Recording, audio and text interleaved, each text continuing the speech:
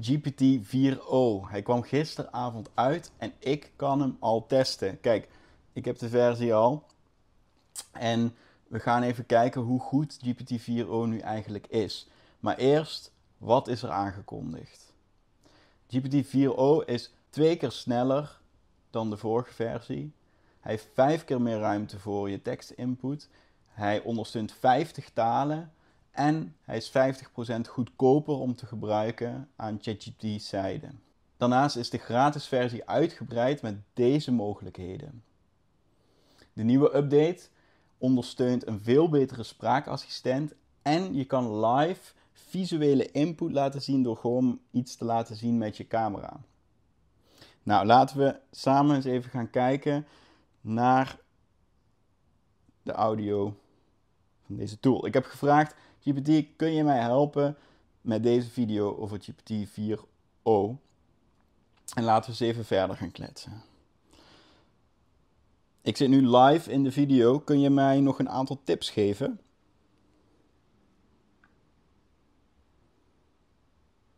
Natuurlijk, hier zijn een paar extra tips voor tijdens je live video. 1. Interacteer met je publiek. Stel vragen aan je kijkers en moedig hen aan om reacties en vragen in de chat te plaatsen. Lees en beantwoord vragen uit de chat om je publiek betrokken te houden. 2. Blijf rustig en kalm. Neem de tijd om je punten duidelijk uit te leggen. Maak je geen zorgen als je een fout maakt, gewoon corrigeren en doorgaan. Gebruik visuele hulpmiddelen. Laat dia's, afbeeldingen of schermopnames zien om je uitleg te ondersteunen. Als je over specifieke functies praat, probeer dan live demo's te geven. 4. Houd het gestructureerd. Volg de opzet die we eerder hebben besproken, zodat je zeker weet dat je. Cool. Kun je nog een paar snelle tips geven? Gewoon drie snelle tips. Zeker.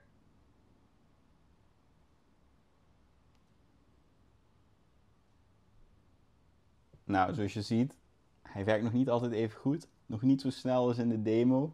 Maar dat gaat waarschijnlijk wel komen. Ehm, wat we in de demo zagen, wordt namelijk langzaam uitgerold. Ik moet zeggen, ik heb GPT-4o nu even een paar uur gebruikt. En het is een stuk sneller. De reacties zijn een stuk sneller.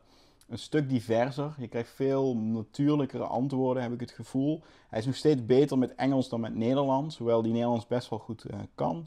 Um, en zoals je ziet, ik heb net op het scherm wel die drie tips gekregen.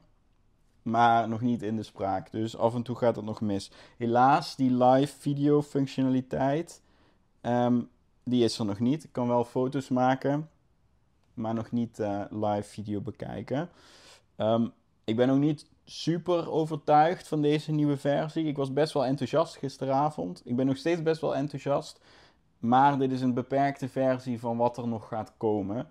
En daarnaast zijn we natuurlijk met z'n allen aan het wachten op GPT-5, wat echt een nieuw taalmodel gaat zijn met nieuwe functionaliteiten. Aan zich is GPT-4 natuurlijk het, het slimste taalmodel nu op de markt. Andere taalmodellen zoals Claude, Gemini halen hem een beetje in. Um, maar weet je, het is wat mij betreft nog steeds de, het taalmodel om, uh, om mee aan de slag te gaan. En dit is een leuke update voor tussendoor. En hopelijk zien we aan het eind van het jaar GPT-5 terugkomen. Voor nu zou ik zeggen, ga experimenteren. Ga spelen met deze versie. Hij is beschikbaar voor betaalde leden. Er is ook een versie voor de gratis leden van ChatGPT. En ik uh, hou jullie op de hoogte. Ik vertel jullie graag meer over in volgende video's. Dus zorg dat je me volgt voor meer updates en meer video's over het praktisch maken van AI. Ik zie je bij de volgende.